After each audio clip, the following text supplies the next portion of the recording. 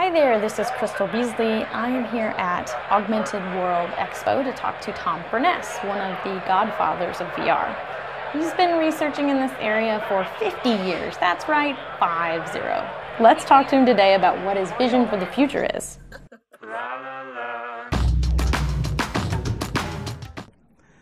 Well, my name is Tom Furness, and I am the founder of the Virtual World Society, but I'm also a professor at the University of Washington in the College of Engineering and also the director of several laboratories, one in uh, Seattle, one in uh, New Zealand, and one in Australia.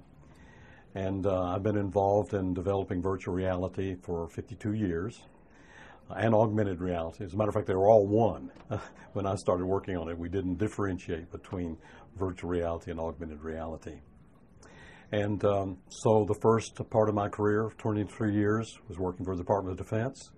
I was basically developing these uh, new tools, uh, head mounting tracking systems, uh, helmet mounted displays, uh, ways to interface with cockpits, basically building a cockpit that you wear, and what we call now call virtual reality. So I did that for 23 years, and that's where the basis of virtual reality really started through those years. And um, in the end, I built what was called the super cockpit, which is a cockpit that you wear, and you're able to interact with uh, this, these very complex machines um, using natural interfaces. And we found that we were able to get tremendous bandwidth to the brain in doing that. In 1989, I left the military establishment and uh, became an academic. I beat my sword into plowshare to become um, a professor at the University of Washington. Set up a laboratory called the HIT Lab, Human Interface Technology Lab, that would work on this technology beyond what I was doing for the military, for education and medicine and training and for um, enterprise applications, entertainment applications, scientific visualization, all of these areas. And so in total, I've been working on it for 52 years. That's amazing. Um, and many call you the godfather of VR. Well, I've been called a number of things. uh, uh, one person called me the Dumbledore of, uh, of uh, virtual reality or the grandfather or whatever. But uh, I've just been around a long time and been lucky to be able to work on this. And the, the situation is that once you get uh, experienced with VR, you're addicted to it, and so you can't let it go. It sticks with you, and you're going to die with it. You know, it's like this disease that works on you uh, throughout your life. Is there any hardware breakthrough that you think is that we're close to that's going to meaningfully change what we're able to do? Well, certainly the we have all these different modalities we're concerned about: the visual modality, audition, tactile or uh, haptics, uh, taste, smell, these other other modalities. And um, I think there are two ways to look at this. One is, of course, the hardware technology that basically provides the stimulation to our end organs. And uh, certainly from a display standpoint, we are really not uh, uh, making anything uh, dramatically that's different than what we did, you know, 30, 40 years ago. It's just that it's cheaper and a little higher resolution and things like that because of the advent of the smartphones and things like that. Okay. But really, the breakthrough technology is where we actually intimately connect photons with the retina.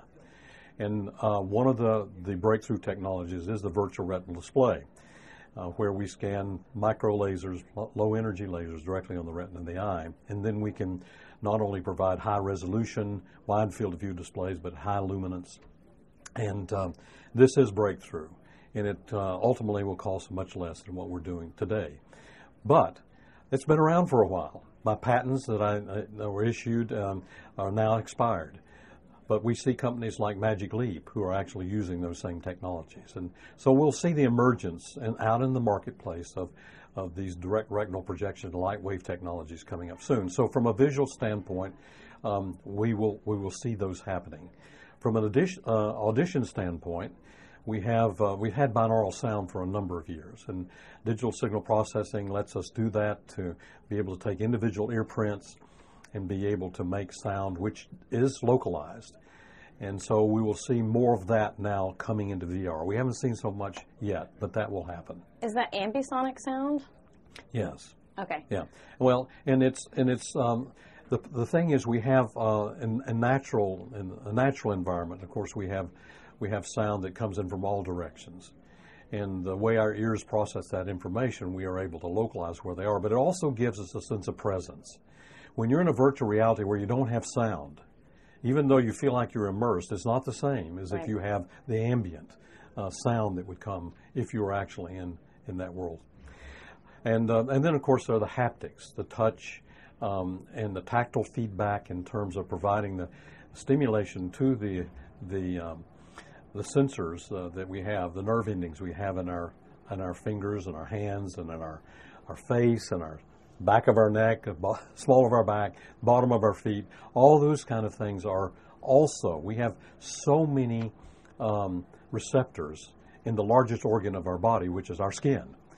And so we are not, you know, even coming close to stimulating those and making use of them. But all of those contribute to the sense of presence.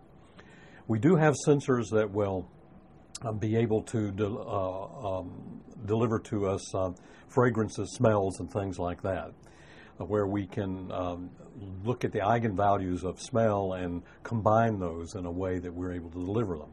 But smell is interesting because it is uh, you habituate rapidly with smell, and um, so it changes. Only when cha- smell changes do you notice that difference. But uh, the olfactory bulb, bulb is just an extension of the brain. So the stimulation of smell really does solicit memory. So it is a very powerful uh, technique depending upon what you're trying to do with the technology. Now, taste is going to be a little more difficult. How do you stimulate the, um, the receptors there? Some people say, well, let's not even go to, through those receptors. Let's go directly to the brain with direct brain computer interfaces. Well, we don't want to do that invasively. So whatever we come up with, we have to do from the outside in. And that is daunting. Uh, anytime we want to provide direct stimulation to the brain um, with um, something that's outside, that's, that's difficult to do. So there are a number of these technologies that are coming along. I would say that probably the, the biggest ones we're going to see is, is a combination of, of wide field of view, high resolution displays like with the laser projection um, and with uh, eye tracking that helps us provide a much more interactive uh, tool, uh, and then the sound that we add to that. And with those, that combination, we'll get uh, you know 95% of the way there. Uh, the other 5% comes from the other, and, and it depends upon what you're trying to do. So my specific interest is about how we will control immersive computing once we we've gotten rid of the keyboard, uh, we're getting rid of sort of the touchscreen displays, and we don't have a game controller either. So how will we use the body, and what sort of hardware will we need to pick up those inputs? Well, certainly the uh, the ability to interact naturally in a virtual environment is what we're looking for. You shouldn't have to hold anything. We want to put down the controllers. That's right. We don't want to have to hold anything to do that. Because in the natural world, like I am now, gesturing, I'm pointing at things, I'm looking at things, um, and uh, that's the way that we should be working in, in VR. And uh, we're getting there. Um, we're getting there with. Uh, with the cameras that um, let us um, track depth. I mean, the Kinect camera did some of that uh, early on, but they're getting better. And um, I believe that we will be able to recognize hand and finger position and and uh, other limb positions and things like that, and use that along with speech. That's another thing we could do. You say, I want to go over there, um, or I want to pick up this object here, or, for example, if we are scanning a real environment and we now are parsing and segmenting that to put in a virtual world, we can help train the computer to say, okay, this is a chair, this is a bucket, uh, this is a flower vase. And then what will happen is the computer now takes that segmentation and assigns a meaning to it, which now it's like more the real world. We are able to interact with these objects like we would in the real world. We know that we can pick up the, the vase from the table, and uh, or we can drink the water the virtual water that's in the glass, things like that. I want to talk a little bit about your work with uh, learning and the the living room that's going to take the place of our very outmoded classrooms. Um, do you think about that in terms of embodied cognition and the, the spatial aspects of learning? The the key to um, learning in virtual reality is the spatial aspect, because it turns out our memory really does have a spatial address space. I mean, that's the way we remember things. The ancient Greeks even used the method of loci in order to remember things. They would memorize long passages, and they would do that by putting themselves in a mind palace. And they would walk around the mind palace, and that would key various these various memories. Well, if we have this ability to have a structure for knowledge, uh, a spatial structure for knowledge. For example, when we learn something, we learn it in context with an, a, a spatial address space. Let's say that we, um, on the fly, we're building a mind map. Uh, we do mind maps, you know, in two dimensions. But what if we could do not only mind maps in three dimensions, but do them in VR, so that we are creating basically a structure for our knowledge. And so when we learn a particular topic, we assign it to the, one of the stalls in our barn, or into the silo, or in the paddock. And so as we're learning these things, we place those bits and pieces as we're taking notes in those spaces. Wow, we'll never forget things that way. And becomes a platform for learning. And it's tapping the thing that VR lets us do, and that is that's placeness. Because VR puts a place inside of us by putting us in a place. And so that we remember those things. We remember places. So I believe it will unlock a lot of the capability we have in our minds and be able to help us uh, um, learn a lot faster and, and, retain better. Now, there's one other aspect of this too, and that's the no- notion of flow. Uh, we know from um, the psychology of optimal experience from uh, Kali uh, Csikszentmihalyi and the work that he did that um, what we really want to get into in terms of a learning system is to get in a flow state. Because when we're in a flow state, we can learn up to maybe seven times faster than we could normally and retain that. And I believe that we can build a flow state generator in VR that helps focus our attention on various things to help us learn faster and also then retain because of these other other things we're talking about. But in the end, I believe that we need to be turning our living rooms into classrooms. And VR lets us do that because we can go places. We can go on expeditions as a family. One of the things I mentioned yesterday was the idea of a family piloting a starship. And each of the family members have a role to play in that starship. But then once you get to a place where you're interested in investigating, will it support life? Using astrobiology principles and things like that the family could actually go down to that planet and do that exploration. How fun would that be? And what you would learn in the process. And it doesn't have to be a starship, it can be going back in history. It can be uh, going inside the body, a virtual body, and things like that. So, um, uh, the technology that we already have available and will be augmented when we get virtual reality would be a marvelous classroom, and we have it right in our homes. Now, this won't take the place of schools, but really the best classroom in the world should be the home anyway. Lovely. Okay, so last question. What do you believe, but you can't prove it yet? What do I believe, but I can't prove it yet? Yeah. What are the insights that are simmering on the back burner? Wow, that's a great question. Well, I believe that um, we're only scratching the surface in terms of the way humans communicate. I think that we're we're thinking that uh, this is all done with photons and vibrations in the air and things like that. But I think there's a lot more going on.